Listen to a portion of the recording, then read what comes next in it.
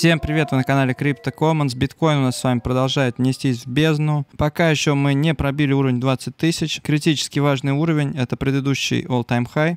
Но подобрались уже очень близко к нему, и на ближайшем рассмотрении на часовом таймфрейме мы видим, что сила продавца немного замедлилась. У нас было уже несколько попыток пробить этот уровень, но мы каждый раз оттуда отскакивали, и за последние несколько часов подобрались очень близко, но пока его не пробили. Все это происходит, конечно, на таких вот диверах, то есть Технически, опять же, все говорит за то, что мы очень перепроданы и на старших таймфреймах, что пора бы уже, как говорится, и отскочить куда-нибудь. Но с чем это связано, ребята? Как вы понимаете, очень много вещей. И ликвидация Майкла Сейлора, MicroStrategy, которая уже вот должна была произойти, но он вроде как ее отодвинул. Кстати, об этом он сам рассказал в интервью CNBC на нашем втором канале. Мы перевели этот видос. Сейчас он появится вот там сверху. Посмотрите обязательно, что Майкл Сейлор говорит о своей цене ликвидации.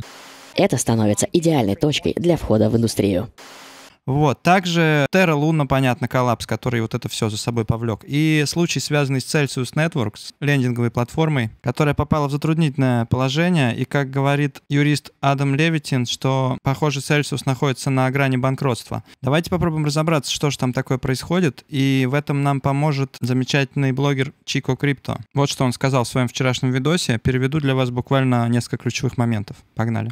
Итак, что мы знаем про Celsius сейчас? В чем же заключается фиаско? Да в том, что они столкнулись с кризисом ликвидности. И это спираль, которая ведет вниз цену и их компанию вместе взятые. Потому что чуваки начали азартно играть с активами, находящихся в их обеспечении. По заявленной информации, 10 миллиардов долларов клиенты внесли на эту платформу, но исходя из анализа их кошельков, у них всего полтора миллиарда долларов в их ончейн кошельках. Это большая разница. И вот, собственно, почему они закрыли все свои выводы. Например, у них полтора миллиарда эфиров клиентов стейкаются на биткоин-чейне. И они брали эфиры клиентов и стейкали их с более высоким доходом, с более высоким риском. И это работало на бычьем рынке, но не сработало на медвежьем. И теперь их виртуальный эфир стал стоить меньше, чем настоящий эфир, потому что все начали выводить в панике свои эфиры, и на всех не хватило, естественно. Так что ликвидность быстренько уходит. И также вот это вообще жесть. WBTC на MakerDAO протоколе, они просто взяли битки клиентов, перевели в Wrapped Bitcoin и взяли маржинальную позицию, у которой ликвидация была на 22 500 долларов. И самый огромный размер долга на этой позиции — 270 миллионов долларов. И посмотрите-ка, чтобы избежать ликвидации, они вчера добавили еще 7 тысяч BTC в обеспечение, что увело цену их ликвидации на 15 тысяч долларов. Так что теперь Celsius вошли просто all на средства клиентов. И по-любому другие крупные игроки и киты будут давить цену вниз, чтобы ликвиднуть нахрен Celsius и их огромнейшую позицию. Рубайтесь и сделать деньги на этом трейде, на этой форс-ликвидации. Кто же это делает? Да, это FTX. FTX и Alameda Research. Они сделали эту дикую распродажу биткоина, чтобы ликвиднуть нахрен этих придурков. Короче говоря, игры крупных китов, чуваки, идут. Нам с вами не снилось. Мы с вами просто даже не креветки, а эти, планктоны. Так что, короче, но самая жопа-то знаете в чем? Terra Luna-то понятно, что грохнулась со своим UST. Но, знаете что? Кто может быть следующий? Правильно, USDT. Чуваки, Тезер вы знаете, что Tether USDT, стейблкоин, которым вы все пользуетесь и храните в нем свое обеспечение, он заявлен вторым и третьим шерхолдером Celsius. И как мы можем видеть из документа самих Tether LTD, у них всего 4 миллиарда долларов кэша и в банковских депозитах, и также еще 3 миллиарда долларов в обеспеченных займах и 5 миллиардов в иных инвестициях или цифровых токенах. Так что у Тезера больше цифровых токенов на их балансах, чем реального кэша для, для выкупа. И посмотрите, что происходит. Люди достают свой кэш, и капитализация Тезера стремительно падает. На 11 миллиардов упала, и буквально вчера еще 1 миллиард достали. Так и что, думаете, если все будут доставать, хватит ли у них денег, чтобы вам отдать? Они являются вторым по объему клиентам этого Celsius. Короче говоря, USDT, Tether вложили наши с вами деньги в этот сраный Celsius и, походу, тоже могут легко стать банкротом, если, конечно, их кто-нибудь не спасет. И я уверен, вы знаете, что происходило с токеном Celsius пару дней назад. Это был классический dump. Токен улетел с 30 центов на доллар 40 перед тем, как вернуться обратно. Что за херня произошла? И кто за этим стоял? Конечно же, FTX, как говорит Kingfisher. Что они сделали? Они сделали фишку в стиле BitMEX. Просто взяли на споте, запампили цену, ликвиднули нахрен всех трейдеров, которые не смогли ни закрыть, ни сократить свои позиции. И забрали нахрен у них все деньги. Вот такая вот история, ребята. Прикиньте, чуваки. Спасибо Чико Крипто большое. Подписывайтесь на его канал, кстати, тоже он очень клевый чувак, кто понимает английский. Вы вообще врубаетесь, что происходит? Происходит дикая жесть. Все, схлопываются карточные домики. И вопрос в том, будут спасать Celsius Network и USDT пригутся за них кто-то еще. Они ведь сейчас могут договариваться с крупными биржами, там, с крупными фондами, капиталами, чтобы все это дело выкупить. Или их ликвиднет нахрен. И получается, что у нас с вами два варианта событий технически, ребята. Первый вариант событий, что их ликвиднет, и я думаю, что за этим последует тогда гораздо больше спад цены, чем только до их ликвидации. И мы можем увидеть и 15, и 13, и 14, и хоть и 10 тысяч долларов в тень, и потом улететь обратно.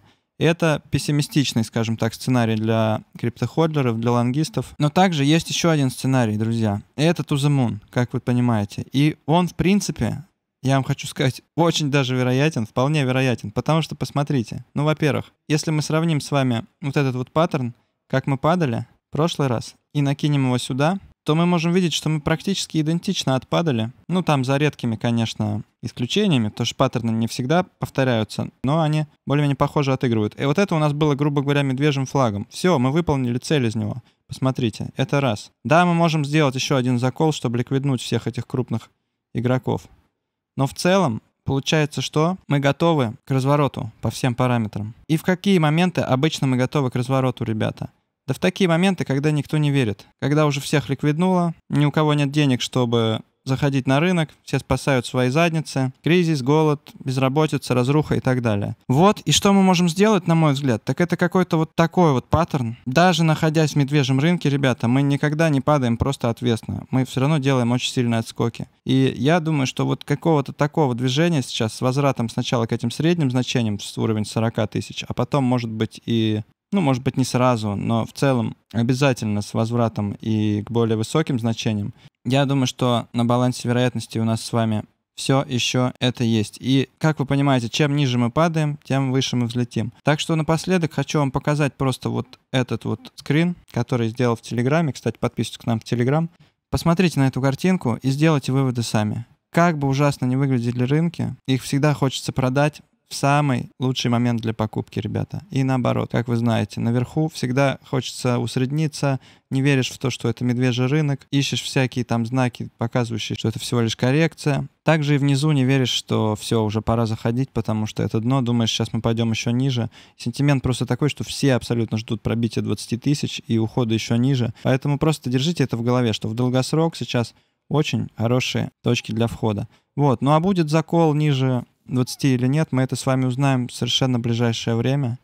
Поэтому будьте бдительны, будьте осторожны, посматривайте за фондой, за другими рынками. Илона Маска, кстати, судит за продвижение криптовалютной пирамиды Dogecoin.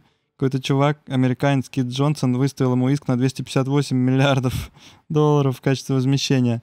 Это типа в три раза больше, чем ущерб я не знаю, откуда эта цифра. Это, видимо, насколько падала капитализация Doge. И ну, я думаю, что чувак проиграет, потому что Илон вообще, ну как бы он что, он говорил, что ли, покупать, продавать. Он просто принимал оплате Doge, всячески твитил, угорал. Но прикольно, что, опять же, я вам говорю, на дне вот такое происходит. И зачарованные инвесторы, всякие мамкины трейдеры начинают пороть пургу про то, что все, мы летим там уже навсегда, там вообще ниже 10 тысяч. Поэтому, ребят, отнеситесь к этому серьезно. Мы с вами стоим на пороге чего-то очень интересного. И биткоин никуда не денется, как технология. Он здесь с нами. Показал себя за эти 13 лет как лучший вообще актив, насколько вы можете видеть, и как лучшая форма денег. Поэтому, конечно же, будут коррекции, куда без них-то. Но, опять же, ребят, мы отпадали от хая уже на 70%. Можем отпадать еще немного, но напишите в комментарии, кстати, что вы думаете. Пробьем мы двадцатку, не пробьем? Какие варианты у нас на разворот прямо отсюда?